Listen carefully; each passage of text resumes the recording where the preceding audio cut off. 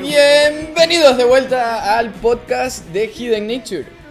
Grita más, grita más si puedes, vamos. Creo que, creo que se le ha ido hasta la onda. ¿eh? ¡Eh! ¡Bienvenido! ¿Qué pasa, chavalada? ¿Todo bien? ¿Todo correcto? y yo que me alegro. ¿Qué tal? ¿Cómo estáis? ¿Qué, qué, qué, qué tal? ¿Qué, ¿Bien? ¿Qué- Ay, le voy a bajar aquí el volumen a la música. Eso es. Ok. Hoy venimos a hablaros sobre el ARN. Como no nos quedamos contentos con el anterior de ADN, Hoy seguimos con, con la temática. De nuestro amigo el ARN. Bueno, vamos a hablar.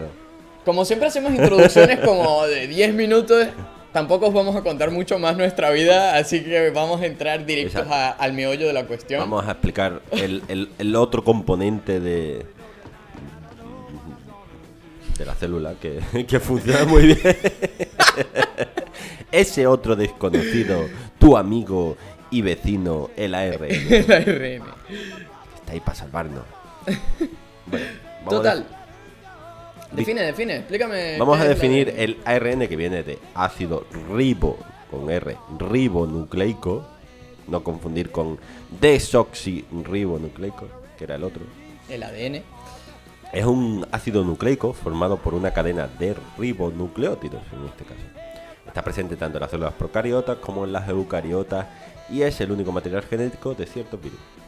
Efectivamente. de. También hay virus de ADN. ¿De ADN? entonces- Eh, o sea, que también es el único mate- el ADN también es el único material genético de Eh, ciertos virus. Exacto. Estamos ahí. Bueno, exacto. Total. Pero vamos a ver qué significa realmente ARN. ARN es una molécula al fin y al cabo de una cadena simple de ribonucleótidos, aunque tengo entendido que también puede...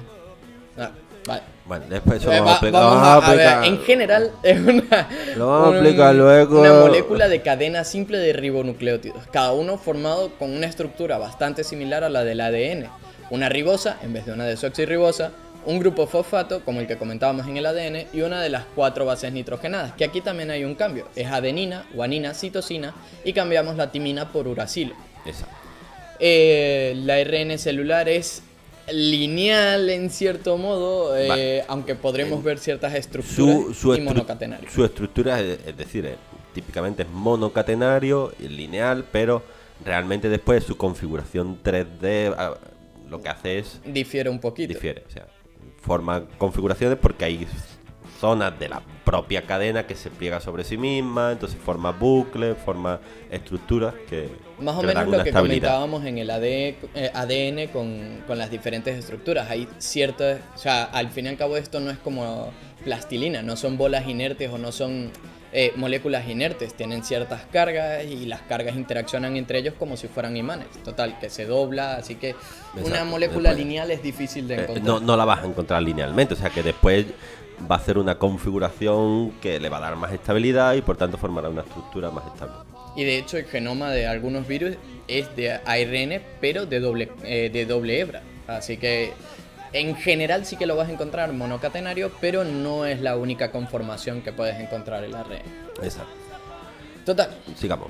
Em, vale, bueno, aquí eh, lo que ha comentado mi compañero, que, que está formado por ribonucleótidos, que es la unidad estructural eh, básica, es parecida al ADN, pero eh, tiene, están formados por un grupo fosfato, una ribosa en este caso, y una base nitrogenada. Lo único que cambia es que no es una desoxirribosa, sino una ribosa. su diferencia es que, bueno, eh, posee un hidroxilo en el carbono 2', cuando habíamos visto que en el ADN, la desoxirribosa, solo eh, tenía un hidrógeno. O sea que en este caso no ha perdido el oxígeno. Eh, no vamos a entrar mucho más No. en la estructura Vamos, porque es tan parecida Muy similar a- al, a- al ADN. La, la- la única diferencia que hemos comentado, y bueno, aparte de la base nitrogenada, es la que le da esa, esa función diferente que tiene dentro de las células o dentro de los organismos, dentro de los no organismos ahí, ahí en el nivel medio, como lo digo. Claro, de hecho el uracilo incluso se parece muchísimo estructuralmente hablando a la timina, así que hay diferencias muy pequeñas, pero bueno, muy relevantes como veremos a partir de ahora. Eh, hablamos un poquito sobre la historia o... Venga, comienza tú, comienza tú la primera parte de la historia. Vamos a empezar un poquito a hablar de, la historia del ARN. El, descubrimiento del ARN comenzó con, el descubrimiento de ácidos nucleicos por Friedrich Miescher en 1868. Desde, desde este punto es cuando se hicieron múltiples descubrimientos que podríamos dividir en distintos bloques de tiempo. Entonces vamos a empezar con, por ejemplo, desde 1930 hasta 1975 eh, se observa que existen diferencias tanto químicas como biológicas entre el ARN y el ADN, pero están ahí ahí. Eh, se demuestra después que el ARN, el ARN, el que llaman ARN mensajero, que es uno de los tipos de ARN, es el que lleva la información que coordina la síntesis de proteínas de los ribosomas. ellos ven que hay algo que sale del núcleo de la célula y es el que da lugar a proteínas. En, una de las cadenas de, que es ARN, pues sale del núcleo y algo se transforma en proteína. Entonces, eh, Efectivamente, de ahí viene su nombre, mensajero. Envía un mensaje desde el núcleo hacia afuera. Exacto, envían como un mensajero y ese mensajero es el que se traduce a proteína. Efectivamente, que eso, bueno, en este mismo periodo se determinaron el resto de tipos de ARN que son útiles para esta síntesis de proteínas. No solo se queda en el ARN mensajero, como ya hemos comentado, sino que también existe el ARN de transferencia o transferente, que es el que se encarga de colocar los diferentes aminoácidos y es el eslabón físico entre eh, es el mediador entre el mensajero y la proteína y el que está presente en el propio ribosoma, es decir, ARN ribosómico. Y los ribosomas son la estructura física encargada de montar la proteína. Exacto. O sea, en ese tiempo es cuando estaba todo aquí el auge de, descubrimiento de la ARN. encontramos el mensajero, después se vinieron arriba los científicos, dijeron, hostia, ya el transferente, ven aquí, está todo. Esos son los más, los más importantes, los más los más. el presidente. Los más, los más. Los que más se conocen. O sea, desde el inicio, esos tres son los más, los más típicos. Eh, continúa. Después tenemos el. Después se descubrió a la ARN polimerasa, que es, como la, que es la encargada de la transcripción y la regulación de la expresión génica. Después también, eh, cuando se analizó el ARN, se vio, vieron que compartían las tres bases como que eran adeninas, citosina y guanina, pero había una que era un poco distinto y es la que llamaron el, el Entonces fue eh, la diferencia importante de, que el ARN no tenía timina, sino que tenía uracilo. Así es. De hecho, bueno, dentro de las polimerasas no, no nos vamos a meter demasiado en, en ese grupo, pero también por ahí estaban múltiples descubrimientos de muchas funciones de las polimerasas. O sea, estaba la primasa, está la ligasa, que tiene, tienen todo una función súper importante dentro de la transcripción, la de replicación, la traducción. Todo, todos tienen unas funciones muy importantes, muy interesantes, pero complejas para entender o explicar, mejor dicho, ah, sin algo visual. Incluso hay una, se descubrió también, hay una, una de las de, la enzima, que es la transcriptasa inversa, que es la que permitía copiar el ARN y convertirlo a ADN. Eso se descubrió en, retrovirus como es el, caso del, VIH, Así es, cosa que era muy interesante porque en realidad, digamos que dentro de nuestro dogma de la biología podríamos decir que el ADN se transforma en ARN y el ARN acaba dando lugar a proteínas lo que hacían estos retrovirus era darle la vuelta al proceso. Eran capaces de decir, pues yo te doy ARN y me lo conviertes en ADN, incorporándose a nuestro propio ADN y utilizándonos en cierto modo. Esa era una idea muy interesante y un descubrimiento muy curioso. Oh, Severo Ochoa consiguió hacia el... Bueno, consiguió. Ganó el premio Nobel en 1959 por descubrir cómo se sintetizaba el ARN mediante la enzima polinucleótido fosforilasa. Descubrimiento que no hizo solo, pero no me acuerdo de, quién, quién era el, el, otro con el que hizo el descubrimiento. O sea, que Severo Ochoa consiguió, descubrió la parte de la enzima, pero había otra persona que también aportó bastante información acerca de toda esta síntesis. Bueno, y también por este, este tiempo se consideró un descubrimiento clave el que tres bases de haya como una un lenguaje de, de bases de, de, de los Base ajá, que se transformaban a proteínas, o sea, se, se decodificó, digamos, el, el mensajero y se sabía, se podía predecir qué proteína, o por lo menos la secuencia de proteínas que iba, que iba a dar. Efectivamente, o sea, eh, dando un triplete, que, un triplete de eh, nucleótidos, es decir, tres nucleótidos, correspondían en ese orden a un, eh, un determinado aminoácido y que era lo que iba a interpretar el ARNT el de transferencia y iba a colocar, iba a montarlo, lo iba a leer del mensajero, iba a decir, vale, eh, esta secuencia corresponde con metionina y cogía una metionina y te la ponía en su lugar dentro de los ribosomas. Así se forman las proteínas, chicos. Total, que en este periodo, así, otra cuestión destacable, antes de pasar al segundo periodo, es el descubrimiento de las caperuzas de guanosina y poli-A del ARN mensajero, que eran una secuencia de nucleótidos que realmente no aportaban, no codificaban nada, no, no codificaban nada para las proteínas, quiero decir, pero eh, ayudaban a evitar la degradación del ARN mensajero cuando salía fuera del núcleo. Exacto. Y después tenemos como un segundo periodo, que es desde 1975 hasta la actualidad, donde ahí ya se, se, se- se investigó sobre otros tipos de ARN mensajero que ya no son tan visibles. O sea, son... No, ARN mensajero, otro tipo de ARN. El ARN mensajero se ve, el ARN no se ve. Es más fácil de detectar, el ARN de transferencia son moléculas más grandes, el ARN ribosómico incluso se, se- se puede observar. Eh, pero hay otros tipos de ARN que influyen en, la expresión de proteínas o que están en otros lugares y que son fundamentales para, para, la vida. O sea, la cuestión es que se investigó mucho más a fondo ese tema y se vio que era mucho más complejo de lo que se creía.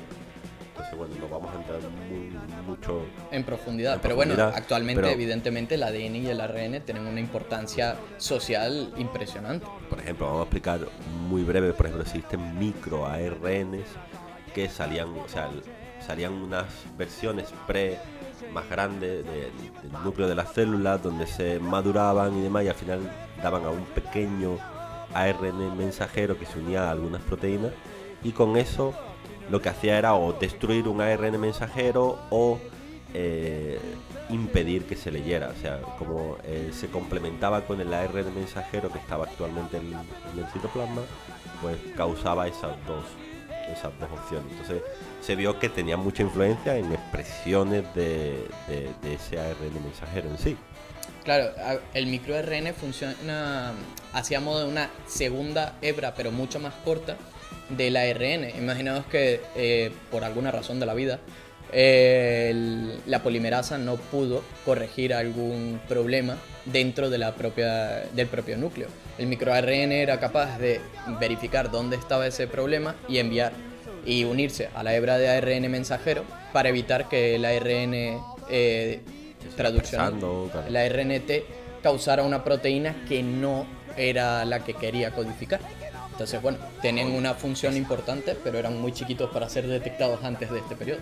Y estas técnicas que hoy se están descubriendo, por ejemplo, sirven a, modo de que tú puedes silenciar genes que no tocando, digamos, el ADN directamente, sino inyectando, digamos, ese ARN de ese, ese micro ARN. Lo que hace es silenciar determinadas expresiones de genes y ver qué ocurre. Entonces sirve también para estudiar determinados casos.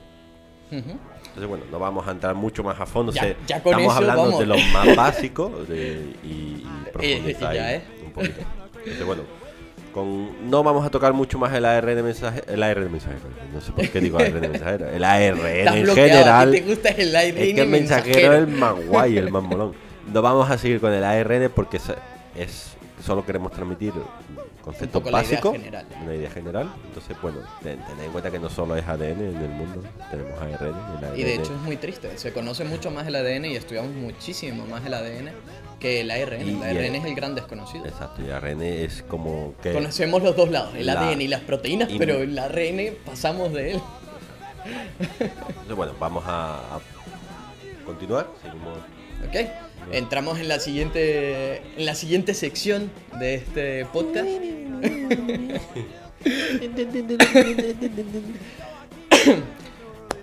bueno, bienvenidos a las noticias de la semana del podcast. Eh, ¿Qué, hoy, qué- qué tal? ¿Qué ¿Cómo tal? está? ¿Cómo, cómo está? hoy tenemos a los grandes carnívoros. Al parecer un, un estudio demuestra que los grandes carnívoros eran escasos y diversos en Europa hace más de un millón de años. Los científicos Jesús Rodríguez y Ana Mateo del Centro Nacional de Investigación sobre la Evolución Humana acaban de publicar, bueno, acaban, hace unas semanas, publicaron un artículo en el que se demuestra que la fauna de grandes carnívoros en Europa durante el Pleistoceno inferior y medio era muy diverso, pero las densidades de población de estas especies tenían que ser muy bajas, especialmente en comparación con las densidades de población de sus análogos actuales en África. Hablamos de análogos como el elefante, la jirafa y otros grandes mamíferos de ese calibre. Así que lo que quiere decir que las peculiares condiciones ecológicas de los ecosistemas europeos pudieron suponer ventajas significativas para los primeros habitantes de este continente, ya que el nicho humano no se solaparía completamente con otras especies. Concluye Mateo diciendo que el, Homo sapiens no es estrictamente ni un carroñero ni un cazador exclusivo. Por tanto, consideramos que el oportunismo podría haber sido la estrategia con más éxito para la supervivencia de los humanos, del Homo sapiens. Mm, bueno, ahora pasamos a unos primeros datos que han obtenido sobre las infecciones por tenia en España. Dice, "Inve- eh, Investigaciones del Instituto de Salud de Carlos III ha evaluado por primera vez el impacto de las hospitalizaciones por esta enfermedad en España. La cisticercosis, que es como se llama eh, a esta infección de los tejidos causados por los quistes larvales, o sea, de la larva de la tenia, del cerdo. O sea, eh, digamos que es por esa larva se encuentra en la cuando comes eh, carne de cerdo y que no está bien, a lo mejor no, la has cocinado bien o, o ha aguantado el, la cocina y al final pues llega al, al que es el, humano para poder seguir multiplicándose. Entonces se considera la causa prevenible más frecuente de epilepsia en todo el mundo. Provoca el 30% de los casos de epilepsia donde el parásito es endémico. Por lo general se adquiere al comer alimentos contaminados a través de- de- del agua potable. Entonces, los quistes pueden desarrollarse en los músculos, los ojos, el cerebro y la médula espinal. Y después ponen, eh, el- concluye Herrador, que es uno de los investigadores, dice, aunque la mayoría de los casos actuales se han importado, la mejora de la vigilancia en humanos y animales resulta, resultará útil tanto para obtener un mejor conocimiento de la enfermedad como para reducir la morbilidad y los costes relacionados a la misma. Tener, si seguimos Cocinad vuestros alimentos, vamos. Básicamente, que si debemos cuidar, cocinar, y aunque la mayoría de los casos vienen de fuera porque no han cocinado bien o no han, o han o han tomado sitios que están infectados por la pues bueno, es más fácil prevenir que curar. Por ejemplo, el carpaccio es uno de los principales problemas a nivel alimenticio que te pueden ocasionar la, eh, ocasionar la cisticercosis o una taeniasis. Que la taeniasis, que aunque no lo comenta la noticia, es el eh, la misma infección, pero con el estadio adulto de la tenia. El quiste se desenvuelve, se vuelve una tenia y de hecho sin teniasis no consiguen reproducirse. Si queréis saber mucho más sobre la Eh. tenia y la teniasis, podéis echarle un ojo a la revista número uno que tenemos. Una Hay una infografía, infografía. preciosa donde os explicamos mucho mejor todo esto. Y ahora podéis ver parte gratuitamente en nuestra web, eh, Eh. sin tener que estar registrado. Sin tener que estar registrado, ya puedes ver una parte gratuita y si te registras, puedes ver mucho más. Total. Vale.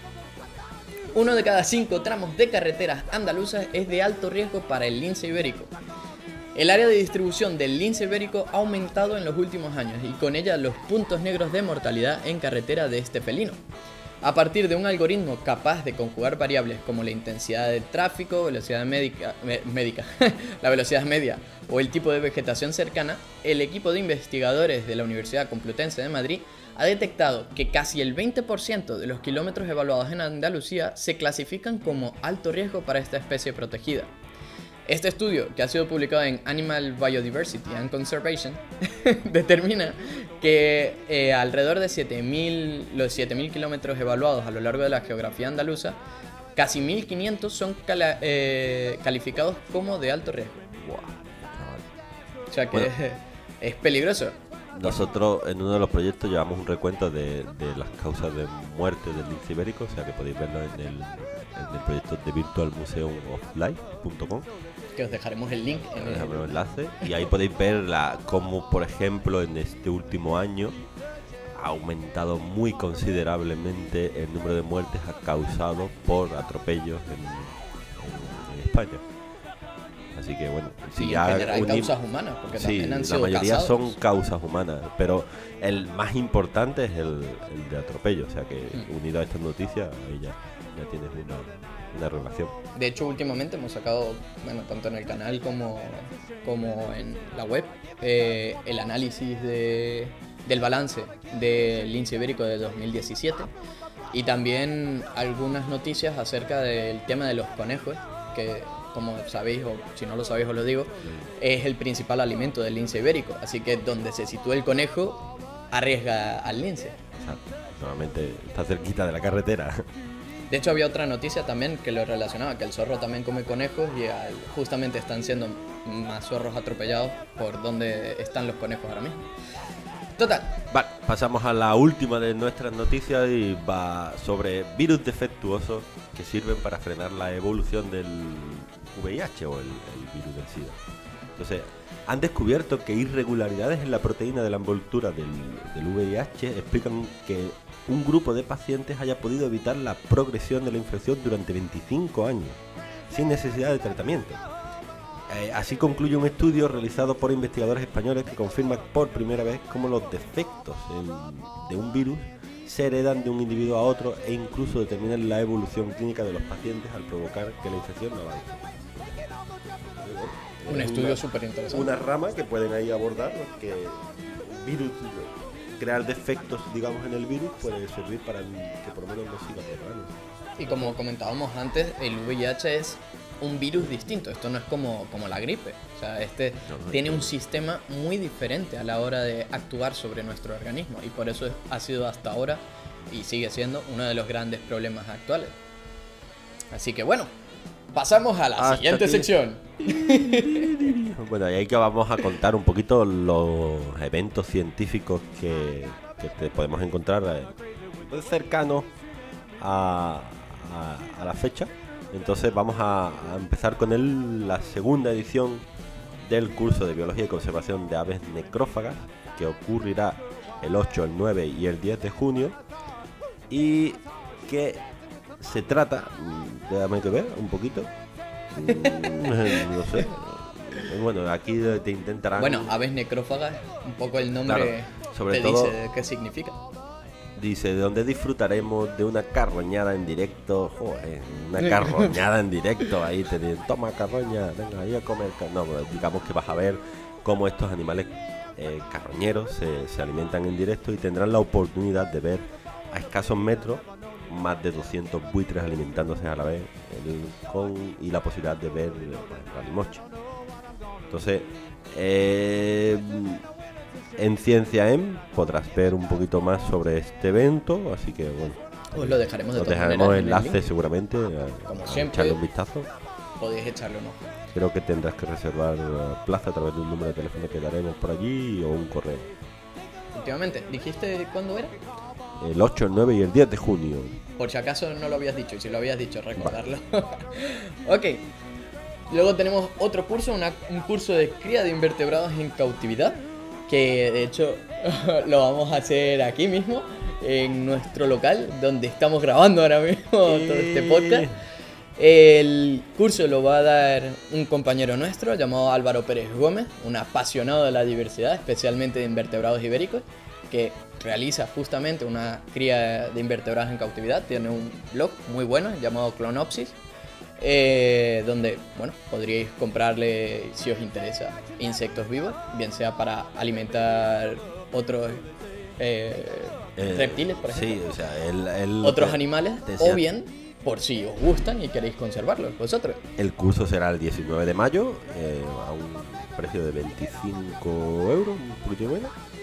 Y será un, un curso de 5 horas donde aprenderás un poquito sobre cómo cuidar bien estos animales. O sea, la idea de, de- de cuidarlos bien es para poder verlos, estudiarlos. Efectivamente. Importancia. Álvaro le va a dar un enfoque dirigido no solo a la cría en sí de en cautividad, sino en la posibilidad de utilizar estos datos que tú vayas viendo para sacar un posterior estudio. Bueno, después también recordaros que en Utrera, el día un segundo, creo que era el 28 de abril, tendréis una cita con el universo. no, es una es una charlita de astronomía básica que va a ocurrir allí en, en Utrera, donde eh, os contarán los secretos del cosmos en el centro cívico La Fontanilla a las 8 de la tarde.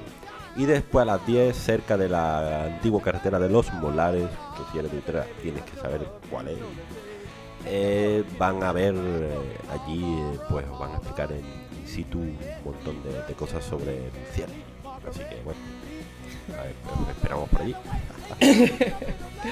Y por último, recomendaros el curso de ganadería de insectos, porque como nos gusta hacernos autobombo, también es aquí en el propio local, lo vamos a hacer el 26 de mayo.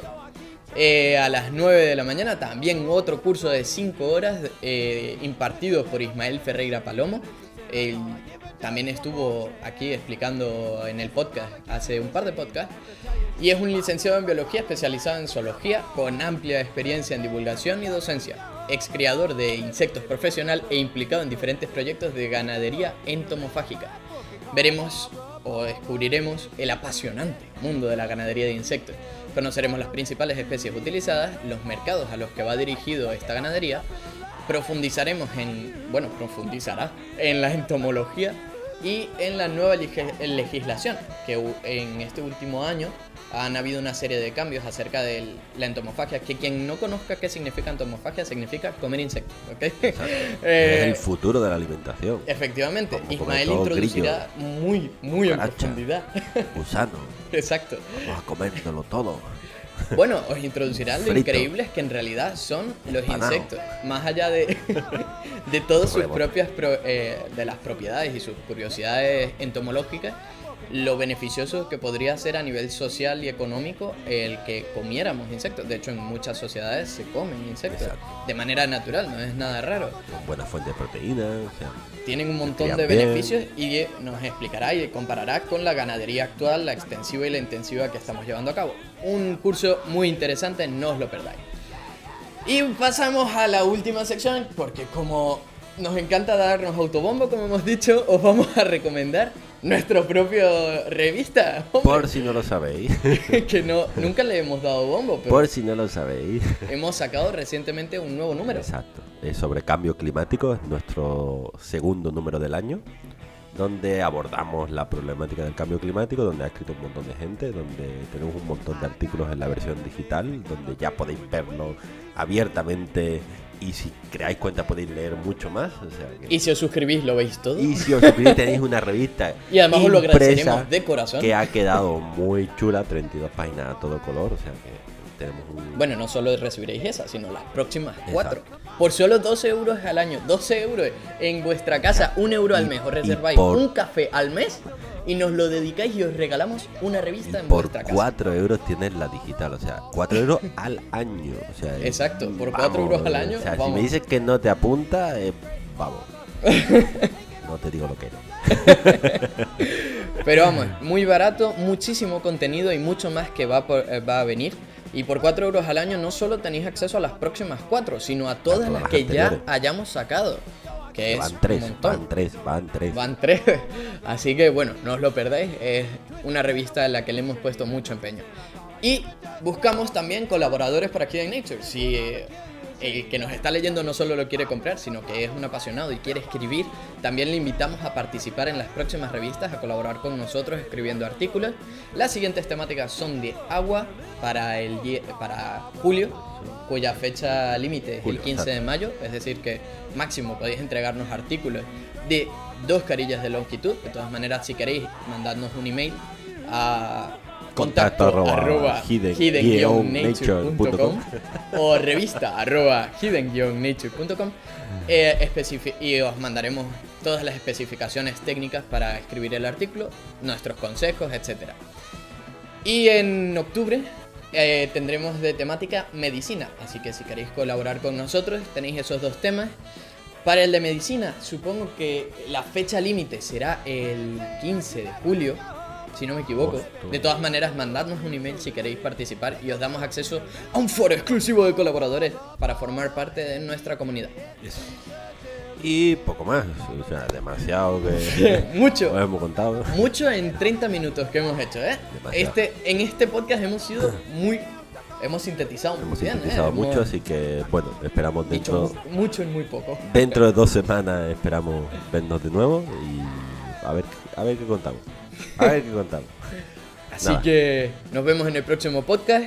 Suscribiros a nuestra revista, al canal y a todo lo que tengamos suscribible.